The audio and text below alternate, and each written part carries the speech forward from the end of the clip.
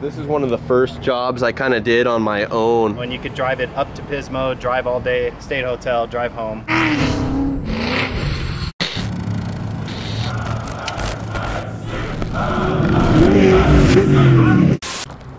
So that's Stefan. Hey, Say hi.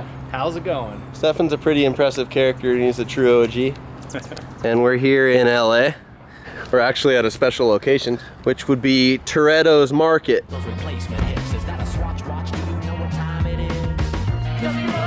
More special is this. It's so good from every angle.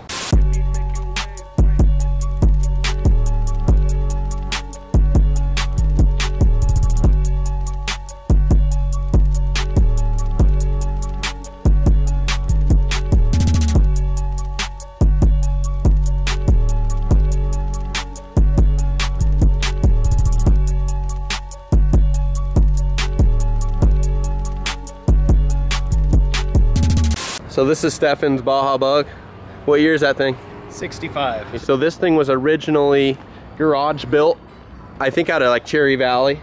So let's go into the history of that. Nick, I think Nick, Nick Underwood was Yeah. the builder of this car originally. I think from what I understand, it took him years to build. It was always his uh, passion project. He uh, got it together, did some amazing work with it. This is where I first saw it. New order, uh, LS powered bug is a world beater.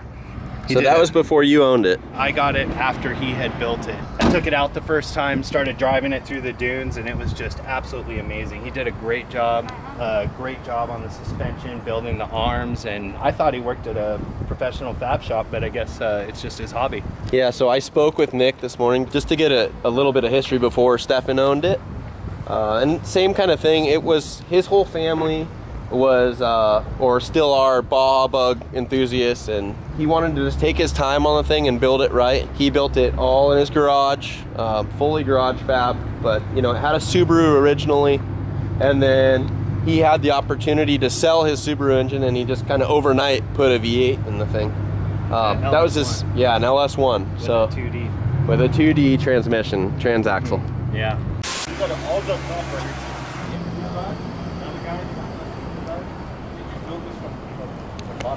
We got so much traffic here, Everybody stopping by. everybody, and Yeah. cars and loudness and exhaust. So I think we're gonna refocus now and kind of start back at the foundation of this thing. When you picked this thing up, what was your intention with it?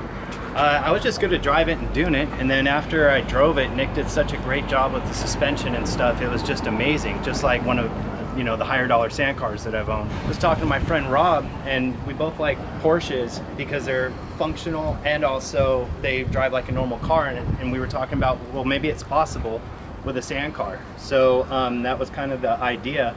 And uh, we took the body off and just basically cut everything through this section including the shock towers, and kept the great front suspension, the great rear suspension.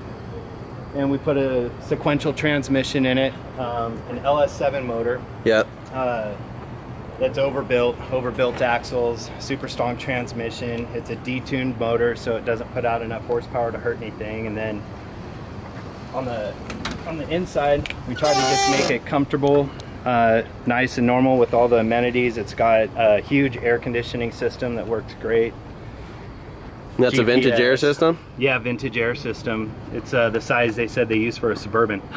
Probably we uh, had enough Gen room, 4. so we yeah, so we used it. And uh, there it is. yeah, the GPS, the noise canceling headsets allow you to talk on the phone, and they make a make it real quiet. It's pretty quiet without them, but definitely with them.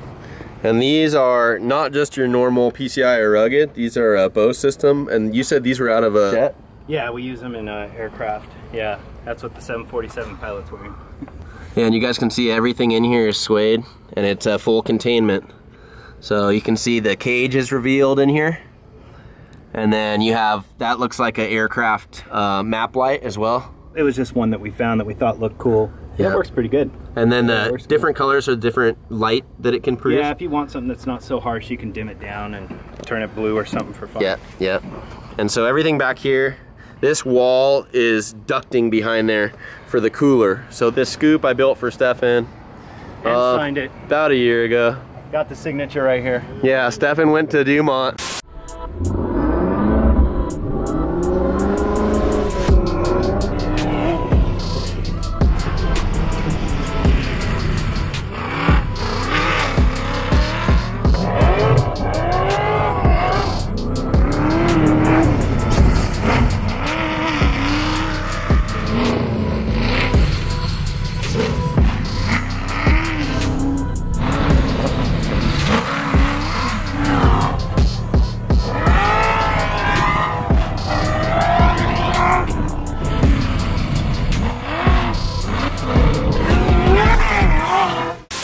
Never gonna wash it. I signed that that thing. I think we might have to re-sharpie it at some point.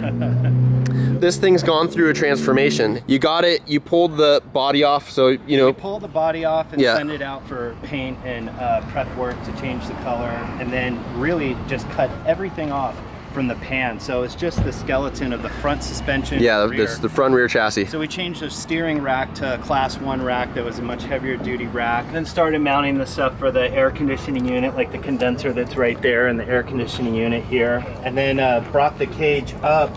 It used to have bars that you would have to jump over and we didn't want that. Yeah, big old door be- bar. Yeah, we wanted it to be just easy, like a Honda Civic or something like that. So Bradley Nipper built all of the cage and components in here to withstand the abuse and still be open like this. And Yep. it works really well.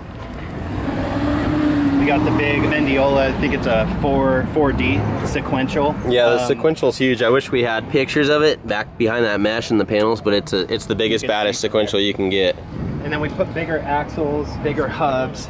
One of the big focus points is we didn't want to have any breakdowns, any problems. Just a great solid week of tuning hard and not have a problem. So Big Bad John from Chatsworth built the built the header system here with the exhaust canisters, and we just wanted it to be quiet so it doesn't annoy people and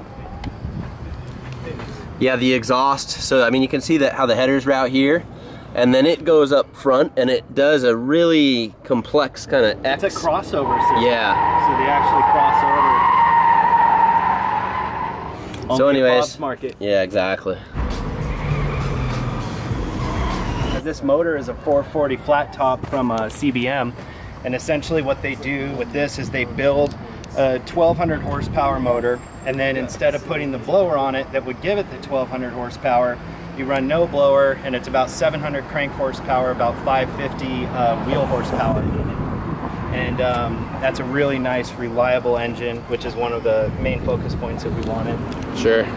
This thing lives kind of up at Evan's shop, and Evan preps it Yeah, and takes Eddie care of it. WR. Yep. Uh, all the guys there, Scott and Jeff and Kevin's working on this thing all the time just to keep it perfect. And Yeah. you can see all the wiring's perfect. Scott did all the um, all the body work on here, and they really, really got it dialed in. The cooling was an issue, right? Yeah, cooling was an issue. It was getting uh, hot, so we got a really nice oversized radiator and brushless fans, and then uh, Morgan built this uh, scoop.